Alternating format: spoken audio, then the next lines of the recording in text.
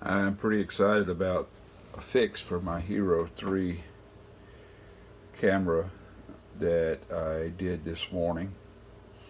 And uh, this is September of 2018 the, the Hero 7 was just released. And but why why discard a camera just because there's newer newer ones out? This is a great little camera. You can see it's got some dings on it I've used it quite a bit. The problem with these things is getting the, the battery door off. And uh,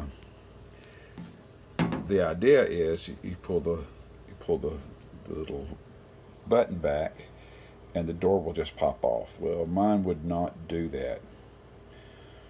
I was having to hold hold that back and use something like a uh, like a knife to get under it to pry it up. Well, not anymore. I'm going to show you. Watch this. Good gracious. Thing popped. It popped too far away. You might want to hold your hand over it. It's kind of hard to do this one-handed. But here's, I learned this on another video, but the guy didn't give me enough information, so it took some experimentation. All I did is I went inside of the door on on the tab side and I stuck a piece of velcro in there. That's it. Now it's not straight it's not pretty but it does the trick.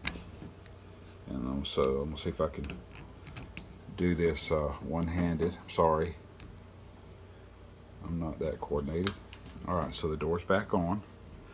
I'll back off a little bit, and